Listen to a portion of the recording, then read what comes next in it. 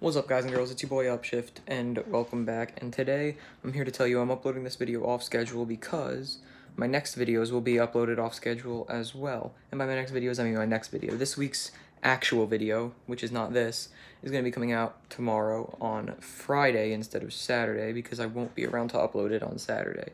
So it will be out on Friday, tomorrow, so this is just to let you know ahead of, ahead of time. But after that, everything else will still be on Saturdays like the normal schedule.